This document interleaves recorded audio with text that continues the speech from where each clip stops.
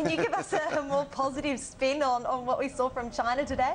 Kate, I don't think it was about that liquidity injection, 365 billion yuan, but that's all about banking liquidity and ahead of a week-long holiday coming up to the end of quarter. And those troubles in Europe with China being closed, it's quite understandable why they would inject a record amount in.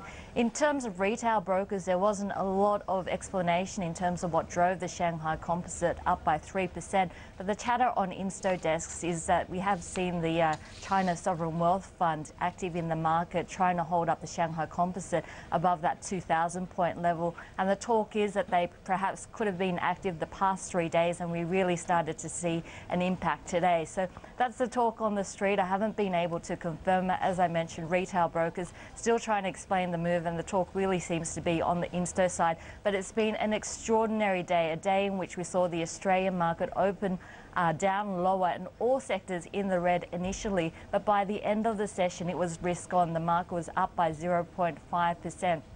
We are seeing option expiry, and that's expect, expected to boost volumes uh, tomorrow as well. But also, we're coming up to the end of quarter, and that could be a positive for the Australian share market. And that's because the Australian share market has outperformed other markets around the region. Our market's up by 7.1%, beating the Korean Kospi, which is up by 6.8% for the quarter. And if we have a look at uh, the Nikkei, well, it was down by 1.1%, and the Shanghai Composite would know that it's been in the red all quarter, down by a massive 7. 0.2%. So an extraordinary session. Hopefully we will see some support for the Aussie share market as we count down to the end of quarter. But of course, with China close next week, we heard of that large record liquidity injection by the People's Bank of China and some chatter that we have seen the uh, China Investment Corp or CIC uh, uh, being active in the market to try and support the Shanghai Composite. Julia, we're all uh, watching Spain this evening. It's set to release its budget cuts tonight. We're seeing mass protests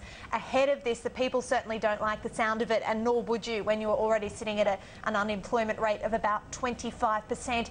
Is this shoring things up uh, in preparation for a bailout? Ken, I think there's a lot of nerves around Spain at the moment, and tonight uh, one of the things that we'll be watching very closely, as you mentioned, is the 2013 budget going to Parliament. Now, the market has spe been speculating that perhaps this could be the trigger for Spain to ask for help from the European Central Bank and do really what the market has been seeking, and that's the bond buying program that Mario Draghi announced a couple of weeks back. Tomorrow is also going to be a significant day, and that's because the stress tests uh, for the banks in Spain will be released. And of course, uh, it comes as we've seen two days of unrest and protests in Spain and a pretty savage reaction on the Spanish uh, stock market overnight. I think the longer Spain delays in asking for help from the European Central Bank, the more nervous the markets are become. And we are starting to see yields for Spanish 10-year uh, bonds once again on the rise. So tonight's going to be an important one, the 2013 budget, the protests going on, and uh, the market watching very closely to see whether Spain is going to pull the trigger and ask for help.